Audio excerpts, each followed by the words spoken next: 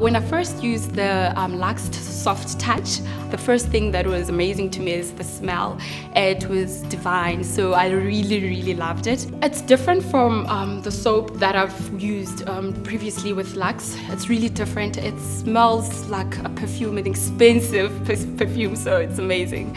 When I use it in the shower, it feels so silky and smooth and after using the shower it still feels amazing and it's not dry.